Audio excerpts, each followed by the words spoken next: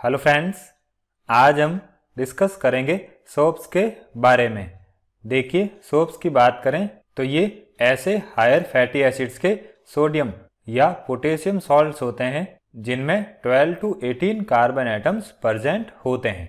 अब सोप्स को बनाने के लिए फैट्स या ऑयल्स का सेपोनिफिकेशन किया जाता है।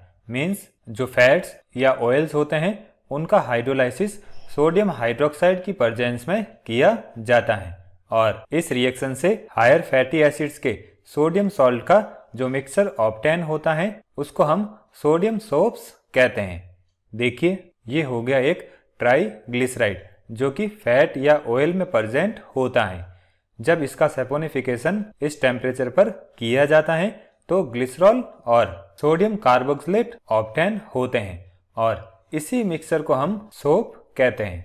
अब सोडियम कार्बोक्सिलेट की बात करें तो ये कॉमन टॉयलेट सोप्स होते हैं। और अगर फैट या ऑयल का सपोनिफिकेशन पोटेशियम हाइड्रोक्साइड की प्रजेंस में करवाया जाता है तो पोटेशियम कार्बोक्सिलेट या पोटेशियम सोप्स ऑप्टेन होते हैं। अब पोटेशियम सोप्स की बात करें तो ये सोडियम सोप्स की प्रजेंस में सॉफ्टर होते हैं।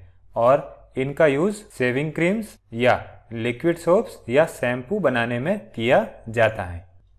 अब देखिए, अगर हम सोडियम या पोटेशियम कार्बोक्सिलेट के कंपोजिशन की बात करें तो इनका कंपोजिशन ओरिजिनल ट्राइग्लिसराइड के ग्लिसरॉल से बॉन्डेड फैटी एसिड के परसेंटेज पर डिपेंड करता है।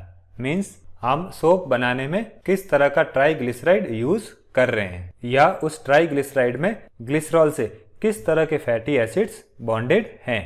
जैसे अगर हम सॉफ्ट सोप्स की बात करें तो इसमें जो वेजिटेबल ऑयल यूज़ किया जाता है, उसमें generally unsaturated fatty acids present होते हैं, जैसे ऑलिक एसिड और लिनोलिक एसिड इसी तरह से अगर हम हार्ड सॉप्स की बात करें तो इसमें जो सॉलिड फैट यूज़ किया जाता है, उसमें generally higher fatty acids present होते हैं, जैसे पामिटिक एसिड और स्टीरिक एसिड